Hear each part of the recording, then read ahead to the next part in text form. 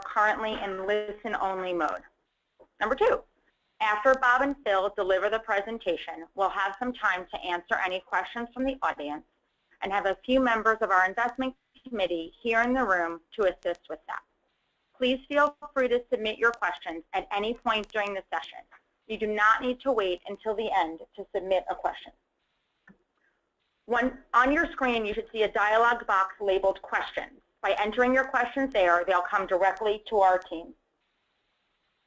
At this point, everyone should see a slide with the title that says Mid-Year Market Update, Perspectives from the Halfway Point.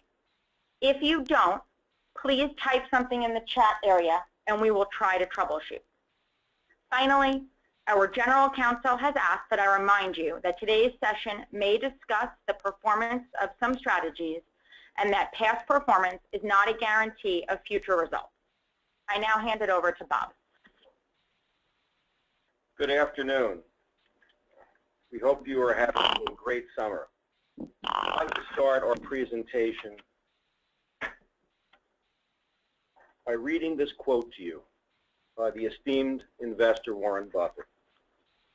An argument is made that there are just too many question marks about the near future. Wouldn't it be better to wait until things clear up a bit? You know the pros, maintain buying reserves until current uncertainties are resolved, etc. Before reaching for that crutch, face up to two unpleasant facts. The future is never clear, and you pay a high price for a cheery consensus.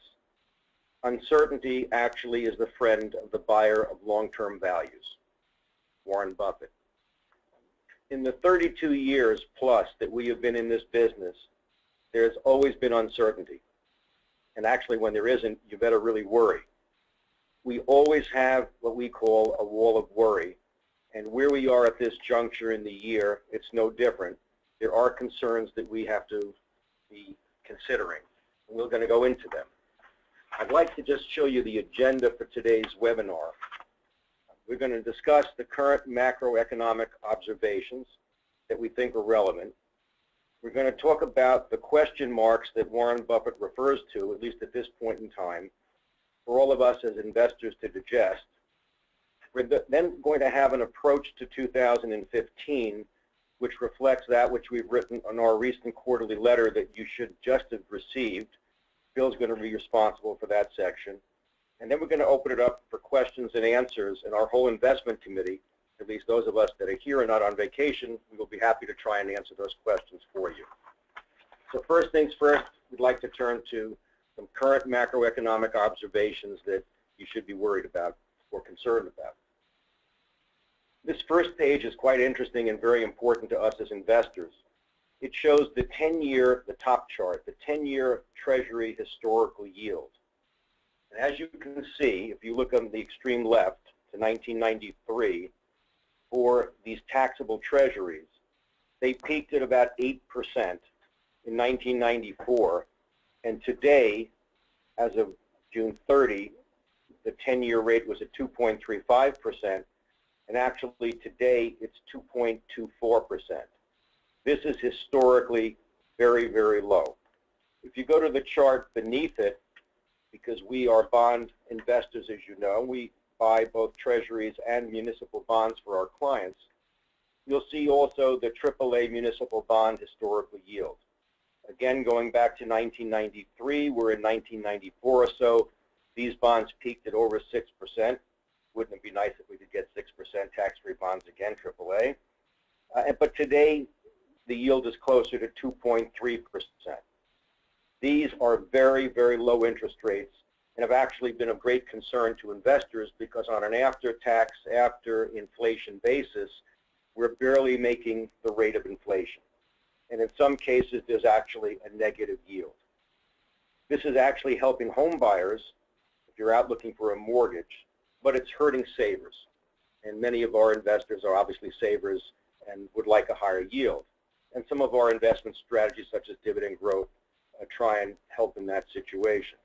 Uh, but again, the point here is that interest rates are very, very low.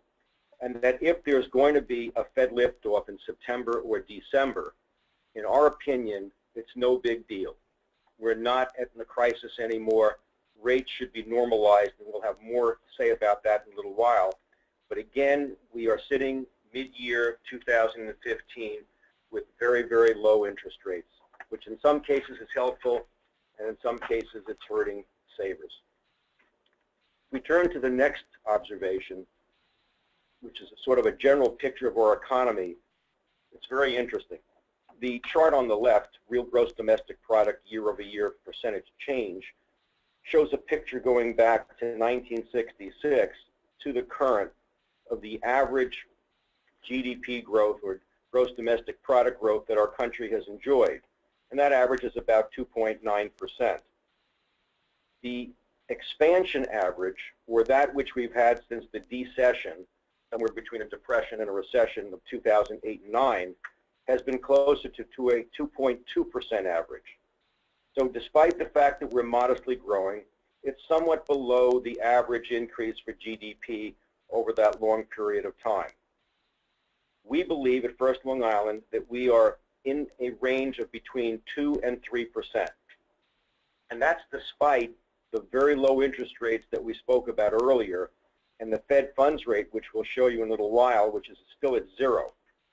So what does that mean? We have a modestly growing economy that's non-inflationary, interest rates are low, and that's not bad. Perhaps the economy would be growing more robustly if we had greater cooperation in Washington and we had some fiscal policy initiatives to complement the monetary policy of the Fed. But, you know, that's hoping for a lot. We'll see what happens. If you look at the chart on the upper right, all employees, total private industries, this is also very interesting and sheds some optimistic light on our economy. We've gained 12.8 million jobs since the tremendous recession back in 2008 and 9, where we lost almost 9 million jobs. So we've had and continue to have solid employment growth, but in many cases, they're low-paying jobs.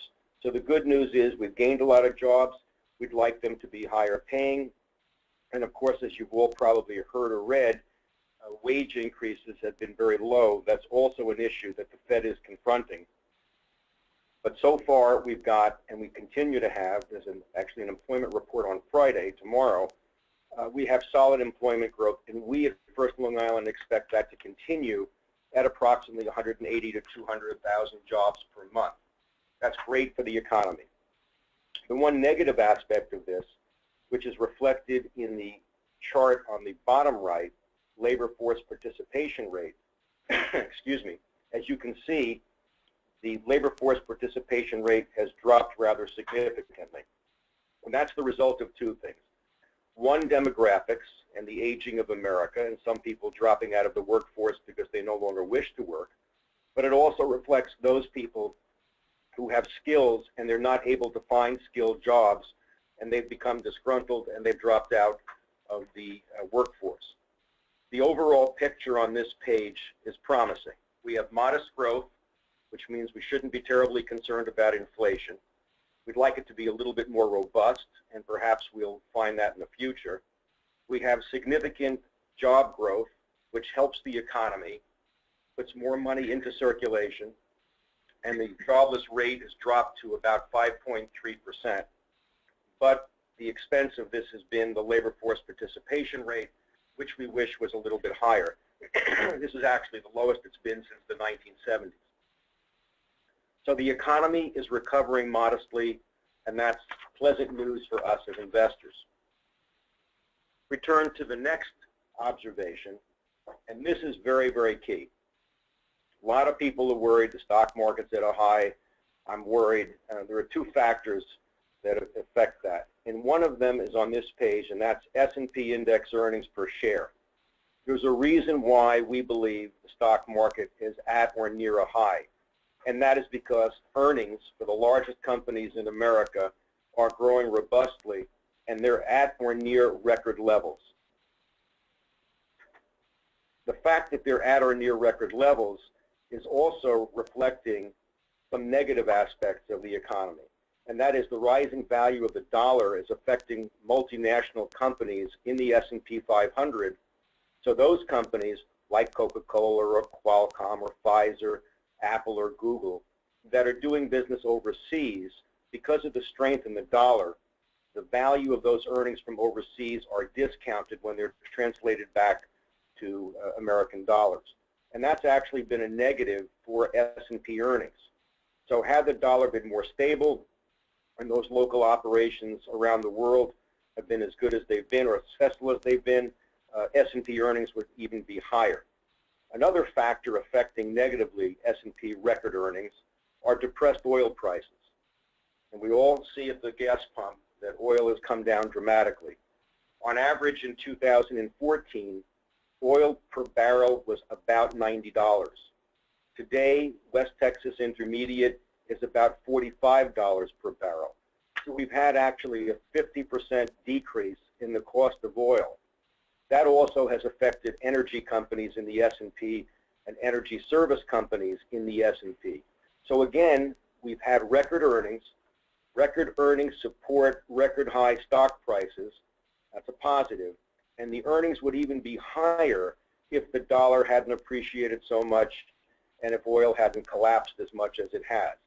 Uh, the good news with the oil uh, decrease is that consumers are benefiting both the gas pump and in heating oil, and certain businesses that use natural gas, which is also down about 30%, will also benefit.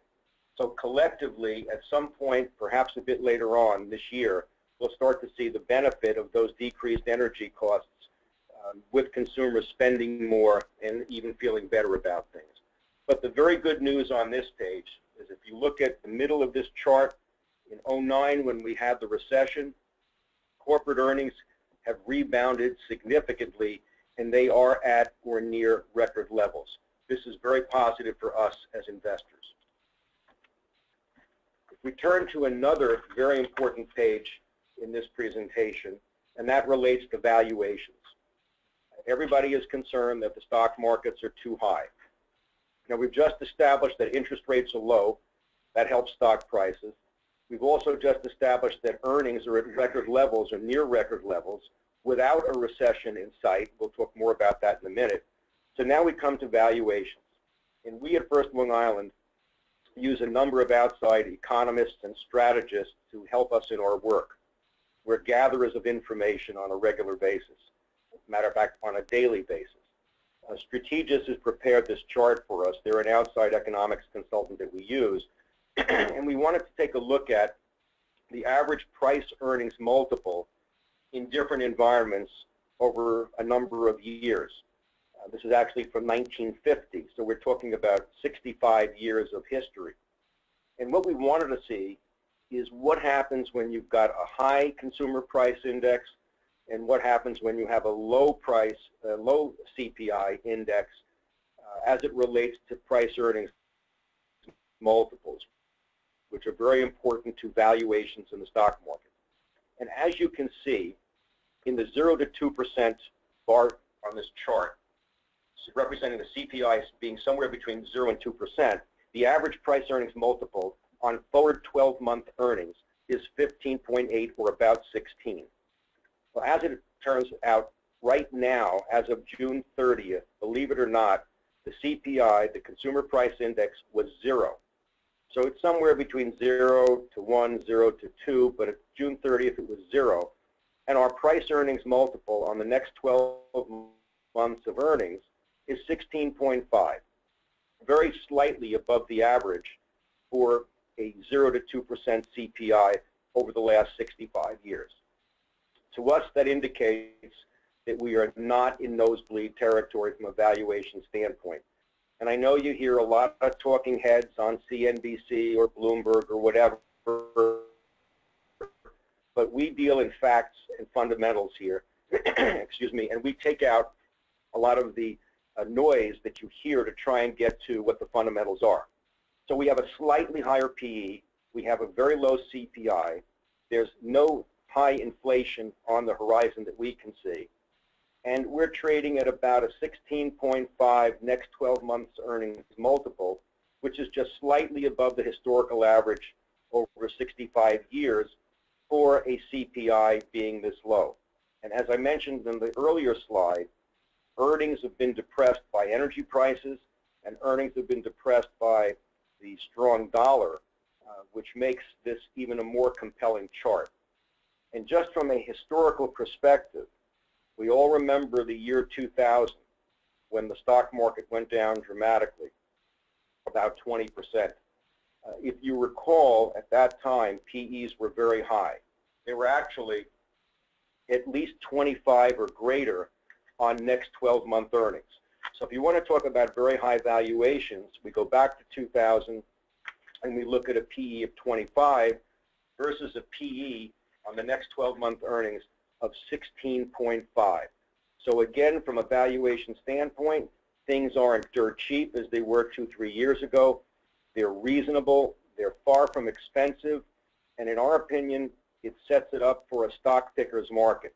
Not everything is cheap and not everything is inexpensive. But our job at First Long Island is to invest your dollars and our dollars, remember we invest side by side with you, in companies that are growing, that are undervalued or fairly valued, but certainly not overvalued. Excuse me. And the market in general, in our opinion right now, is reasonably valued. It's not cheap, but it's certainly not expensive. So those who continue to say it's very expensive aren't looking at the historical facts and aren't recognizing that we don't see a recession in the near future, which would decrease earnings. So stock selection is key. We refer to it as high active share and concentrated portfolios. We turn to the next page, which gets back to interest rates again. And this page is really interesting to look at. You'll see that we peaked in the 1980-82 time frame with a Fed funds effective rate of over 18%. Some of us remember how difficult those days were when inflation was running rampant and we could actually buy bonds that were yielding 15, 16%, but that was because inflation was huge. Because of the recession in 2008 and 9, the Fed, reacting to that crisis, dropped interest rates to zero. And as you look to the right side of the chart on the bottom, you'll see that the Fed funds rate has been effectively zero for a rather long period of time. The dotted red line is the FOMC year-end estimate projection going out, which shows some liftoff and some normalization of interest rates. But in our opinion, the impending rate increase by the Fed, which may take place in September, it may take place in December, it has been well broadcasted it is only starting to return to normalcy because we are no longer in a crisis. We were in a crisis in 2008 and 9, and Fed Chairperson Bernanke acted responsibly. He dropped interest rates to protect the country's economy and the global economy. It worked. We're out of a recession. Our stock market has rebounded. Our employment has rebounded. But we're no longer in that crisis situation, and it's actually healthy for the Fed to start lifting off with rates. Uh, our quarterly letter recites the fact that there may be some greater volatility. When the Fed does increase rates, there could be some greater volatility and the stock markets may sell off. But that's not based on fundamentals. That will be based on a knee-jerk reaction, which we believe will be temporary. So we are not concerned about this. And again, we view the impending rate increase by the Fed as reasonable, appropriate, warranted and it may even give some investors or savers a little bit more interest income than they have right now where the Fed funds rate is at zero. So we are not concerned about the Fed increasing rates, even if it means some short-term volatility in the stock market. We turn to the next question mark. Ah, Greece. Nice place to visit, but a lousy place for the stock market on a regular basis. We've been dealing with headlines out of Greece for the last four or five years. And we want to show you in graphic form with this pie chart that Greece represents only a tiny part of the Eurozone's economy, perhaps 2%. It's more headline risk than substantive risk and substantive issues. Uh, it's not terribly important to the Eurozone. And the European Union is prepared to deal with whatever the eventuality is with Greece. As you know, there's a short-term deal in place with Greece after going back and forth, and there was a default for a period, a short period of time. There may ultimately be a restructuring of Grecian debt or Greek debt. Again, we don't expect this to be very disruptive to the European financial system or for that matter to global financial markets.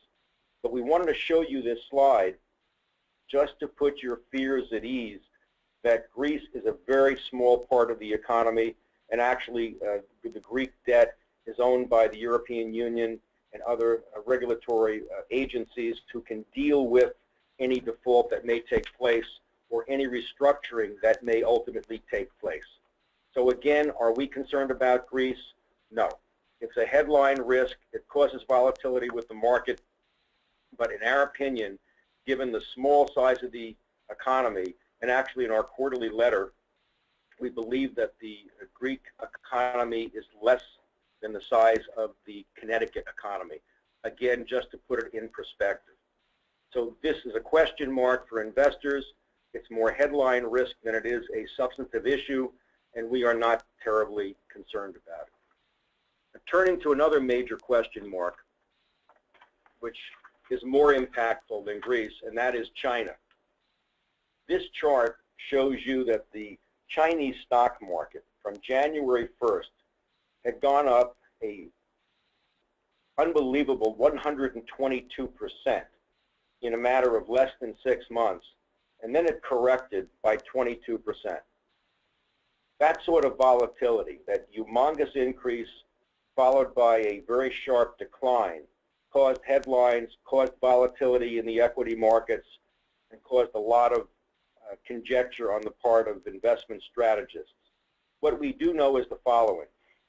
The Chinese economy is slowing. It's a very, very large economy. Some people's eyes, it's the second largest economy in the world. If you aggregate all of Europe, that would make Europe the second largest economy, so China perhaps then falls to the third largest economy. In any event, it's a large economy.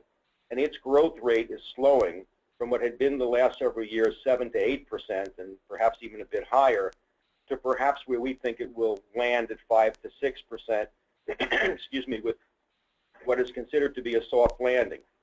So it's a very large economy, and it's slowing, and it has a relatively new stock market. We do not invest directly in the Chinese stock market at this point. Perhaps a few of our outside managers will find something in Shanghai, I'm sorry, in Hong Kong, but not necessarily directly in China. Nevertheless, the, the market has increased too dramatically. Now it's fallen, and this has caused some impact and some concern. Where we see the impact is, yes, a large economy is slowing, but the impact will be majorly on commodities. So part of the reason why oil is down in price, copper is down significantly in price, is because the infrastructure build out in China has slowed and is slowing rather dramatically. And the shift to a more consumer-oriented economy is taking place. As you know, we invest in companies like Yum Brands and Starbucks as an example, and Apple, who are doing quite well in China as that emerging middle class continues to grow. And that's hundreds of millions of people, and we still think that's an opportunity. But this question mark of the Chinese stock market volatility has been one that has been in the newspapers and on the cable channels. Would also like to point out that in terms of the individual investor in China, only 10 to 15 percent, I believe, of their personal net worth is tied up in the Chinese stock market. So this increase and decrease, although emotionally it's, uh, it's troublesome to them, is not significant to the overall Chinese economy and not disruptive to their economy. But nevertheless, we believe the Chinese economy is slowing, although it is still a very significant growth factor to the global economy. Turn to another question mark that hits closer to home, and that is Puerto Rico. Puerto Rico and Puerto Rican tax-exempt bonds have been a favorite of individual retail investors for as long as I can remember. And one of the reasons for that is because the the Puerto Rican municipal bonds are considered triple exempt, which means they're exempt from federal tax, state tax, and city tax if you should live in New York City. There's $72 billion in outstanding debt divided up amongst a bunch of municipalities in Puerto Rico. But Puerto Rico is a commonwealth, and by the way, there is real concern as to whether that 72 billion could ever be repaid. Our best guess is it cannot. Uh, back in the old days, in the 70s and 80s, Puerto Rican debt was considered a moral obligation of the United States government, and that there would never be a failure because there was this not legal guarantee of the U.S. government, but moral obligation of that outstanding debt because Puerto Rico is a commonwealth of the United States, as is Guam, just for history purposes. because Puerto Rico is a commonwealth, it does not have the same bankruptcy protection that is afforded to states. There's no law that permits Puerto Rico to go bankrupt. And that creates some confusion as to what happens to Puerto Rican debt if it can't be repaid. They can't file for bankruptcy. They can try and renegotiate a restructuring. And that's exactly what's going on right now. Puerto Rican officials have until the end of August to finalize economic and fiscal reforms uh, through various proposals. They're negotiating with hedge funds that have loaned money. There are a lot of mutual funds that have significant Puerto Rican debt exposure. Of all U.S. bond funds, we do not invest in bond funds, approximately 20% hold Puerto Rican debt. Uh, for purposes of this conversation, we only have one institutional client at, for, at First Long Island that holds one Puerto Rican bond. No individual client has a Puerto Rico bond. We're concerned that there could be some spillover on other municipal bonds if Puerto Rico should default or restructure. So that's a concern that we would have with the municipal bond sector. It could cause spreads to increase from treasuries, and we always look at the relationship between treasuries and Puerto Rican bonds or Puerto Rican bonds and corporate bonds. So if there's a disruption here, it could make the entire municipal bond market a little bit sloppy. Not terribly worried about it, but it is a factor that we should mention. Uh, one, one interesting aspect of the Puerto Rico bond situation is that they overspent. Here's a government, a municipality that spent more than it could and borrowed to make those spendings. This also translates to some of our municipalities and states where there are unfunded pension liabilities and other things that need to be looked at. Uh, certainly, uh, states have more, far more backing and far more sources of revenue to deal with their debt situations, but we're watching that very carefully as we buy your bonds. We look to the integrity of uh, each of the municipalities that we invest in. So Puerto Rico is a question mark. Again, it's a lot of headline risk. Uh, it's a very small economy. They've overspent and overborrowed based on their spending. It's a concern, but it's not a grave concern. Uh, this is not anything new. We have actually lived through um, uh, Stockton, California going bankrupt, Detroit going bankrupt, so these things will happen from time to time, but it is something that's on the minds of our investors and clients. So we thought we would bring it to your attention. Uh, there are question marks out there, as Warren Buffett pointed out. Meanwhile, the majority of our strategies are quite positive this year. Uh, we're pleased with the way things are. Uh, we believe that being a long-term investor will be will continue to be rewarded and that there are always these question marks or wall of worry that we have to deal with, and we will continue to invest prudently in the face of those question marks. But the key to Buffett's phrase or quote is, you don't go running from investing where there's long-term opportunity, even if there are some question marks that will create some short-term volatility. And now it's my pleasure to turn the presentation over to my partner, Phil Malakoff. Thanks, Bob, and uh, thank you to everyone on the webinar for joining us in this presentation. So what is our approach to 2015, or the remainder of 2015, and how are we advising our clients given the current macroeconomic environment and question marks that Bob just detailed? So we're continuing to recommend that our clients maintain a diversified portfolio with prudent asset allocation. So what we have on slide 13 is our roadmap. And many of you have seen it, but maybe some of you haven't, or it's been a while since you've seen it. So let me just quickly provide a review. Um, what we have here are the four categories, the way that we really look at the investment landscape. Um, we define the investment landscape in these four categories, security investments, defensive strategies, traditional equities, and private investments. And as you move from left to right on this, we would expect each of these categories, as you move to the right, to provide slightly better returns over the long term with a bit more risk and perhaps a little bit less liquidity. So starting with the first category, security investments, those are what we feel are the safest investments. They're really investments that let you uh, sleep at night, and they're an important part of a prudent asset allocation. And what we would recommend to our clients is that they maintain a modest allocation to this category with a focus on quality. Moving one category to the right, we have our defensive strategies.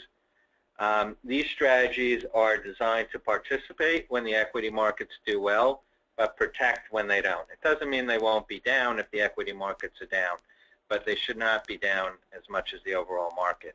And this is an area that we really feel clients should um, really focus on, and we would recommend that clients maintain an overweight exposure to this.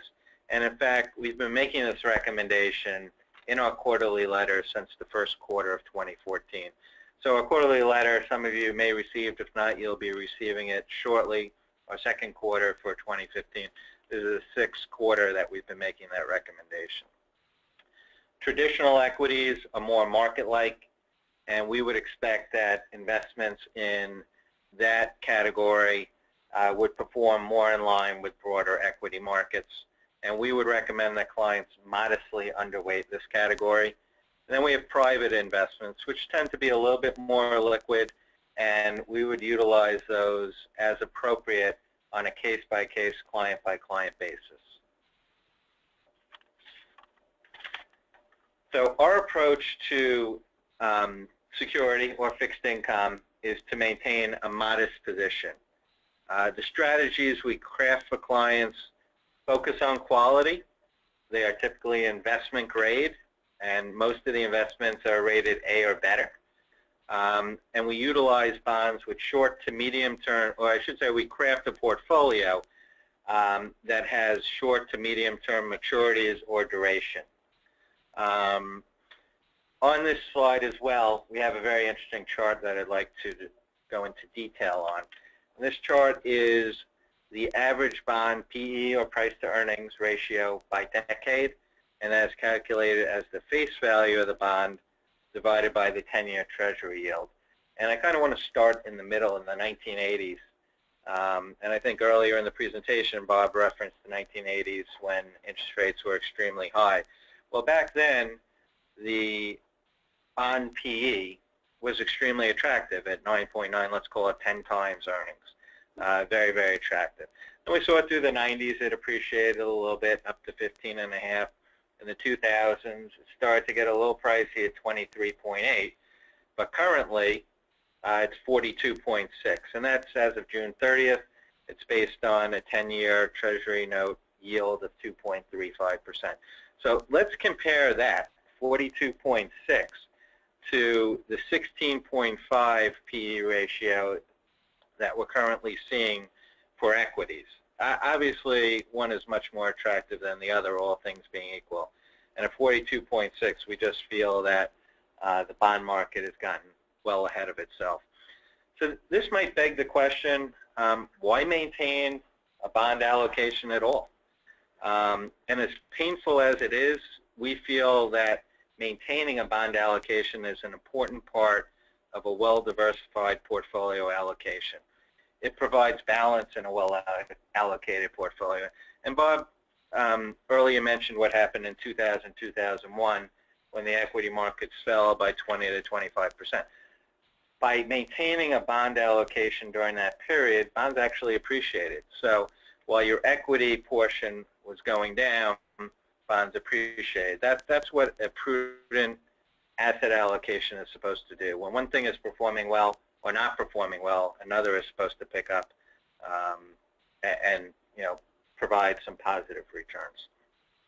Another reason to uh, maintain a bond allocation, in spite of the fact that most institutional investors believe that interest rates will eventually go up, is the timing of that.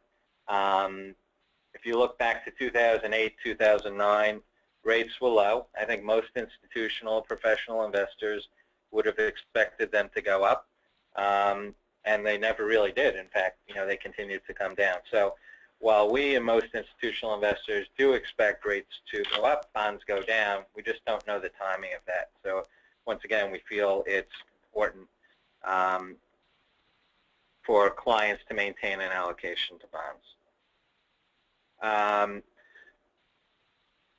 as I mentioned, we do craft portfolios that have short to medium term maturities and lower duration. Um, when rates do go up, lower duration bonds will not go down as much as, as higher duration bonds. So that's an important thing to recognize. As well as with short maturities, when they do mature and roll off, they can be reinvested at better interest rates, so yields will go up. Moving along to defensive strategies, um, we recommend to our clients that they maintain an overweight um, allocation to our defensive basket. Defensive strategies are designed to first and foremost mitigate volatility. They're also designed to minimize downside capture. Now that, that may be a term that some of you may not be familiar with, so let me explain it quickly. Downside capture is the amount of uh, the percent that a strategy will capture when it, its benchmark index goes down. So let me give you an example. If a strategy was benchmarked against the S&P 500 and just let's just say that it had 75% downside capture, the S&P was down 8%, we would expect that that strategy would be down about 6%. So once, you know, once again, there's a little bit of protection there. But we also expect these strategies to sufficiently appreciate over time or capture a significant portion of the upside. Um, so, you know, just flipping that downside capture around, um, the S&P was up 8% and it had a 75% upside capture, we would expect it to be up about 6%. Um, there are three common types of examples of defensive strategies, hedged growth strategies, dividend growth strategies, and multi-strategy hedged investments. Hedged growth strategies are typically long-short strategies. Um, the example that's usually given is a manager will go long Coke and short Pepsi if they believe there's some difference between the two companies. Or, you know, a manager may be long a security and short a derivative uh, to hedge it, that sort of thing. With dividend growth strategies, a stream of dividends provides a defensive nature to the investment. Multi-strategy hedged investments are strategies that are less correlated to equity markets. They may include things like risk arbitrage, distressed credit, or credit spread trading. Regarding traditional equities, um, we would recommend that our clients maintain a modest underweight to this strategy or to this category. Um, we feel that clients should focus on high quality companies and concentrated portfolios. So in previous years, the last few years, there have been very high correlation, high correlations amongst all domestic stock markets. But we're starting to see some divergence from that we feel it's become more of a stock picker's market. Um, already this quarter, we've seen big gains in stocks like Amazon and Google and Priceline and Visa. Um, and it's that sort of thing that we're looking for and that sort of thing that leads us to believe that concentrated portfolios are the way to go. Um, high active share, which um, focuses on uh, portfolios that have fewer names and fewer index-like names uh, are something that we believe in. We also believe that portfolios should be overweighted to growth versus value, at least in the short term. So far this year, uh, the growth indexes and all market cap spectrums have significantly outperformed those in the of value. And this is something that we think will continue through the end of the year, but it's something that we continue to evaluate.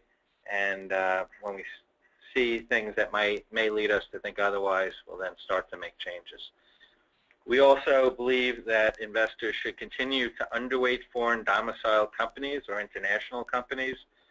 Um, but we should note that we've recently increased our international allocations slightly, um, although they are still underweighted.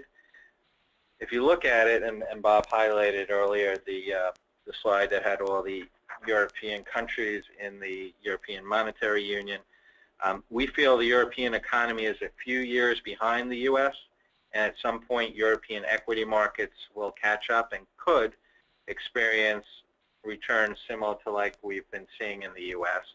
We don't think we're there yet, but when it happens, we want our clients to benefit. That's something we're paying close attention to. A fourth category we don't have the slide for is private investments. Once again, we're going to uh, analyze those on a case-by-case, client-by-client basis and make appropriate recommendations where needed. One key factor we're paying attention to in 2015 is volatility. Uh, volatility, we believe, will play a key role as we finish out the year and move forward. And so the chart that we have here, going back to 1982, shows the number of days in a full calendar year that had ranges of greater than 1% for the S&P 500 index. And so you can see, if you go back uh, just a couple of years to 2008, 2009, uh, very, very high numbers there. But more recently, in 2013 and 2014, um, there were only you know 71 and 79 days where this occurred. So far in the first six months of 2015, uh, there were 47 days uh, where there was a, a wide range.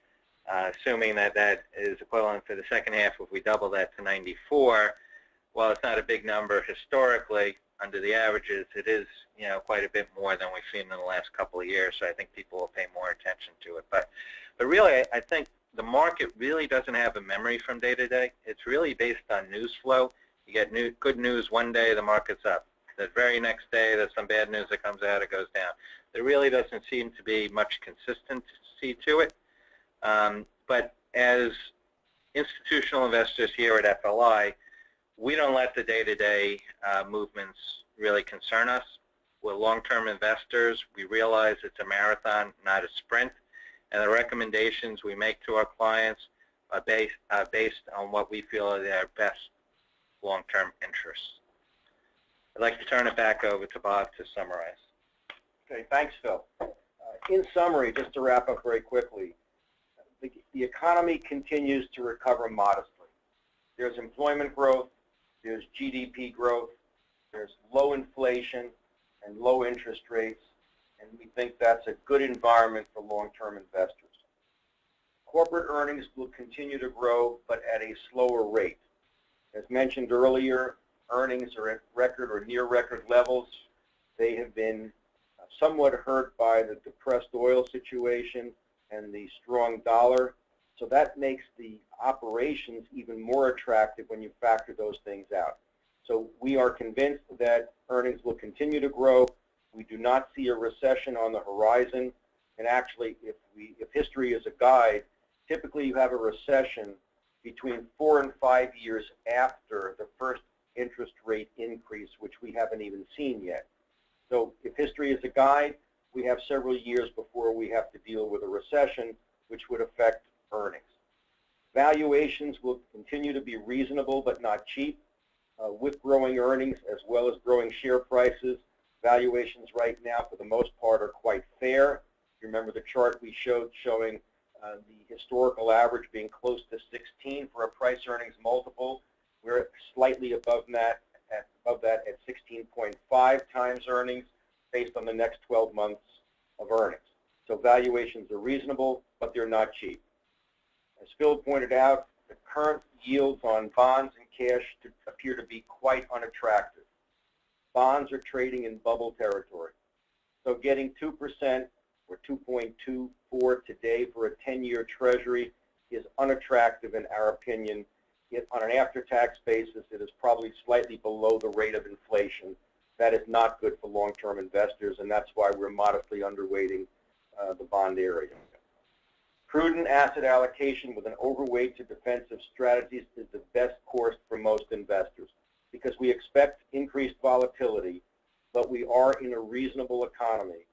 In order to protect from the unknown, and there are things that we just don't know or won't know what's going to happen, we believe that our defensive sector or defensive basket and the three strategies in that basket provide investors, our clients, and ourselves with reasonable appreciation potential and the probability of volatility being mitigated by their defensive characteristics. So in summary, that's where we stand at mid-year. We would ask you to read the quarterly letter, which goes into greater detail. Um, and we will now open it up for any questions that you may have uh, to any of us here in the, uh, the investment committee at FLI. So Bob and Phil, thank you so much for taking us through that. I'm sure they all found it very interesting. Um, as Bob mentioned, we'll start answering questions. There is a questions pane on your screen. Please type them in there, and then I will ask them of the investment committee. Um, while those on the phone are thinking about what questions they'd like to ask or where they'd like to get more detail. I'm going to kick off the Q&A with one of the questions that was actually sent in advance, um, and it relates to some of the things we've been talking about. So the question that we got was that the, this client of ours had noticed that growth has been outpacing value, and they wanted to get a little bit more of our perspective on that. Uh, Ralph, would you mind taking that for us? Yeah, sure. Uh, good afternoon, everybody, and welcome on the call. Thank you for dialing in. Uh, there is a, a, quite a disparity this year between growth stocks and value stocks. And uh, simply stated, the reason being is that in a year where S&P earnings are expected to be up modestly, like they are this year, companies that are growing their earnings at a faster pace uh, are now being recognized for their operations. And it's a lot of the companies that we own. Those companies that are able to truly grow their earnings really stand out in this market and they're being rewarded for higher valuations. On the other side, uh, with value, value has struggled mainly for three different reasons. One, energy is a great percentage of the value index than growth, and a lot of the uh, value companies are energy related, and energy has gotten killed so far this year. Uh, financials are a larger part of the value index, and there is some concern over rising interest rates and how that will impact financials. And the last reason is the strengthening dollar has hurt the multinational companies, of which a lot of them are value stocks. And the uh, because the dollar has been so strong, uh, when you convert those earnings back to the international earnings back to dollars, it's worth less. Uh, so we are overweighting the growth in many strategies, and we have been doing that for the past two years. Uh, we're still maintaining an allocation of value, although not as much as we had in the past because we think the markets eventually will adjust. But those are pretty much the reasons why growth is outpacing value this year. Great. Thanks, Ralph. So a question we just got is that we've talked a bit today about how energy prices are, have decreased. Um, do we have any perspective in terms of when what we think is going to happen over time? Will that decrease continue? Will it plateau? Where do we where do we think that could be? Obviously, without a crystal ball. It's very hard to project or predict where commodity prices will end up because there are two parts to the equation or several parts to the equation. Uh, in one respect, there are users. So there are those people that would use or those companies that would use energy. And then there are speculators hedge funds, different types of investors that also influence the movements. So over the long term, one would expect that supply and demand would carry the day. But in the short term, where there's speculation, that can exacerbate price movements either up or down. Um, Brian Gamble, who's on this call with us, he and I debate almost on a weekly basis where energy is going to end up. But with commodities, they can overshoot their target. And it's like trying to catch a falling knife. Uh, they look very attractive, then they keep going lower and lower, and then all of a sudden something could turn it around. Um, right now, given the slowing economy, not robust growth, China slowing, most commodities are reacting quite negatively to that. So we don't have a position as to how far oil will go down or when it will turn around or how high it would go back up. And for that reason, for the most part, we have uh, avoided commodity type investments because we just don't have a crystal ball as to how commodity prices will react. We do know in a, in a modestly growing economy there's not great demand pressure quite yet on commodities. Great, thank you. Um, we have another question, which is, what impact, if any, do we think the Bank of England's decision to not raise interest rates will have on the Fed's timetable? That's an interesting question and a very timely one, since the Bank of England this morning just decided not to raise rates. You know, this is another um, question that we can't answer. Um, it's interesting, in the United States, Fed presidents speak almost on a daily basis, and they never agree with each other. So yesterday and the day before, you had one president of the Fed saying, well, maybe it's not time to raise rates, and another president coming out saying it's absolutely the right time to raise rates. One thing is clear, the Fed has indicated it is going to lift off. But lifting off from zero, as I mentioned earlier in the presentation, is not a big concern to us. The European Union, uh, and actually the IMF, I think it's Christine Lagarde, has urged uh, Chairperson Yellen to not raise rates quickly because Europe is still in a fragile type recovery. Um, matter of fact, maybe they're growing half a percent to 1%.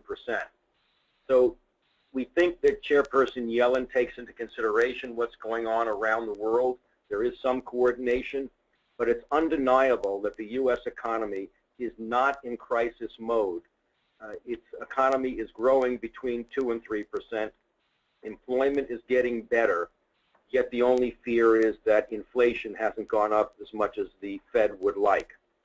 We think that Europe will be considered, but at the end of the day, the, the U.S. economy is separate and apart uh, from the European economy, and therefore Chairperson Yellen will act when she thinks it's prudent for the U.S. economy to raise rates, and we believe that will either be in September or December, unless the economic data that comes out in the next few months suggests otherwise.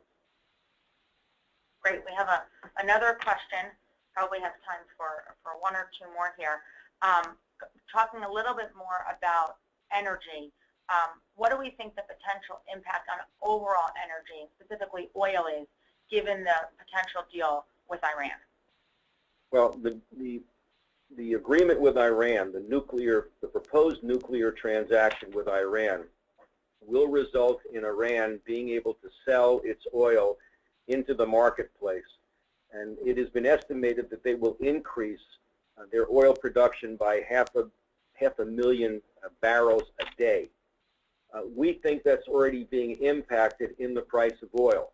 Before the Iranian deal was announced, oil was probably in the mid-50s, West, West Texas Intermediate. Uh, today it's in the mid-40s. So the, and the Ayatollah has made it very clear in statements made earlier this week that Iran will ramp up its oil production within one week of the agreement being formalized and codified. So we think that's in the marketplace. Um, we think that oil could probably go down a bit more from where it is today. But again, as I stated in a question or two before, because there's speculation involved in oil, uh, as well as the end users being involved in oil, it's very hard to say how far down it will go or how high it will go once it starts to go up. Wish I could be more specific, but we can't. Great. Thanks, Bob. I think that's the last question we'll have time for today. On behalf of the entire team at FLI, I'd like to thank everyone for joining us, and we hope you all found this session interesting and insightful. For our clients on the line, I'd like to remind you that our investment committee is always available to discuss your individual asset allocation. Please just give us a call. When you close out of the webinar, there'll be a very quick three-question survey, and we'd be most appreciative if you could complete it. Thank you so much, and have a great afternoon. And a great summer.